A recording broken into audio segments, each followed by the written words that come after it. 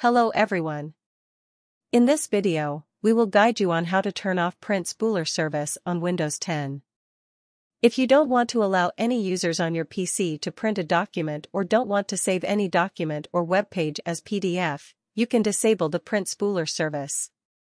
This is the quickest and easiest way on Windows PC to stop printing jobs. Please note, after disabling print spooler service on your Windows 10 machine, fax and print will no longer work.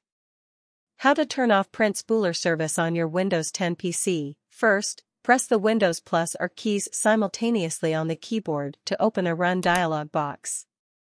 Next, type services, MSC in the Run box and hit Enter key on the keyboard to launch the Windows Services panel. Now, scroll down to find the print spooler service.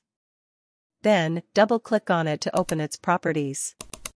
When the Print Spooler Properties dialog opens, click on the drop-down next to Startup Type and choose the Disabled option. Then, click on the Stop button. Now Windows will stop the Print Spooler service.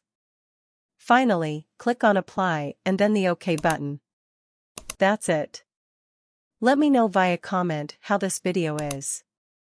Do you want to watch more videos like this? Subscribe to our channel, GearUpWindows. Goodbye. See you in the next video.